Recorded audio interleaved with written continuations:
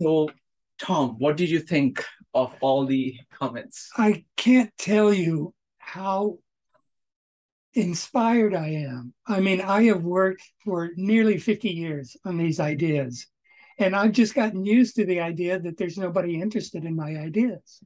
And so I don't really, you know, promote myself or, you know, I just do the work.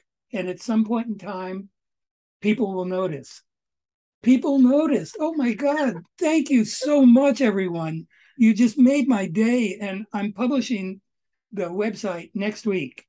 I, you know, I I've been holding off because you know there's all sorts of calculation mistakes, I'm sure. And please tell me anything that doesn't calculate right, and I'll fix it. And you know, there's part of it that's still not finished, but I'll just there's enough material there that uh, we can all start working together. Becky, how did you think? What did you think of it? The It entire ex- experience. It was extremely exciting uh, Mhm. for someone who just started off with reading uh, synergetics, just started, but having a math background, not heavy on geometry, but this has really sucks me back in. I'm so excited with everything, and so uh, from from uh, a beginner rediscovering as like a child with with everything, this is this is the playground. So thank you for inviting me to be part of this. This was a fantastic experience. She is a math person. Okay, so for her, this speaks in a completely different language. It, it's like her language. so it is. And you know, I only use addition, subtraction, multiplication, and division. But that's the beauty of everything because here it's so physical and it's it's as Bucky said, you're playing, you're actually using your senses.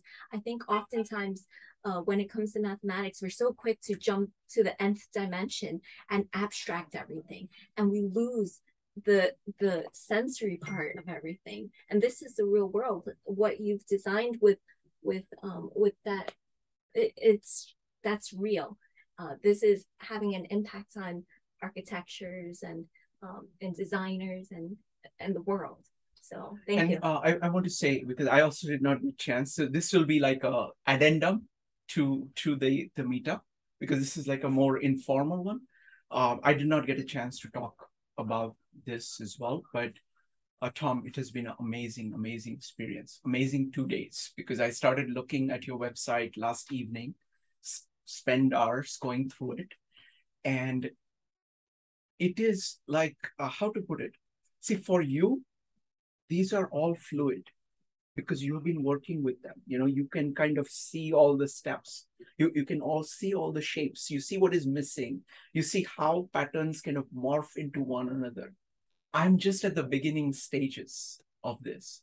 So i can clearly see the possibilities of how it can be done. But it's like oh it did this wow look at that.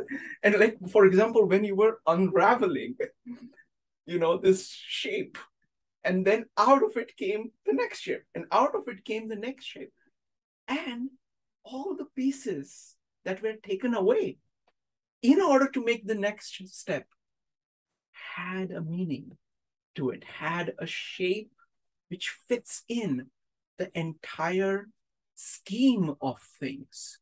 So it is telling you something really fundamental about nature of reality itself, nature of nature You, itself. you so get it. I, I, this is just like amazing to hear you say these words. I just, I just speechless. no, I mean the, the thing is that you the, the beautiful thing is that you are actually doing this with your hands, with your eyes and hands. You I are am as old school as they come. Yes, yes, that's what I love, right? It is, it is, and for me, I am seeing like the profound idea behind something, like you know, Bucky's idea of of the whole. Like otherwise, you can just put it as a statement. Always start with the whole. Arts have no meaning without the whole.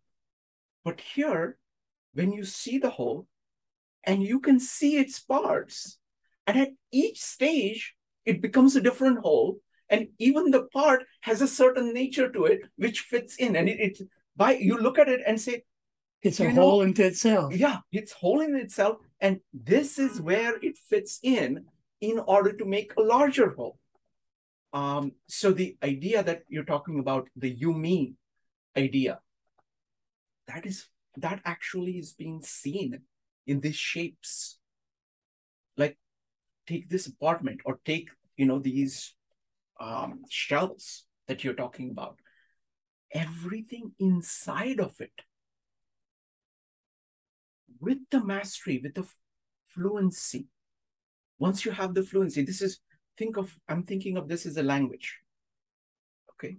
Once these are your words, okay, once these are your words, you can write poems inside buildings and people will feel it.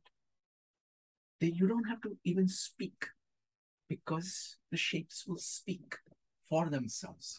They will not only be efficient, but they will have an aesthetic. That effectiveness of the shapes will be felt by people as beauty, as peace, as yes, I'm I'm in nature. Wait a minute, did I leave the leave the forest and come in here? Wait a minute, I'm still it's it's kind of like the same kind of thing. So there is this kinship between what we make, what we human beings make, and nature. Because we are part of nature. Exactly. And so should our works be of nature. And this is the vocabulary for doing that. Well, you know, one of my dreams is to the Graham Foundation sets up grants to do shows and for Fabiano and I to do just what you were talking about, to do maybe build one of these on some smaller scale in some gallery and then have the walls just full of the information. And, you know, is another way to get it out. Yeah, wonderful. So thank you so much. You know, you have opened my eyes to something really, really beautiful. Well, and I will so remember this forever. Thank you so much. Thank you. I think this deserves a Yes. hug. Thank you. Thank you. And Becky, you are just amazing. Thank you so much for all your work. All right. Thank you, folks.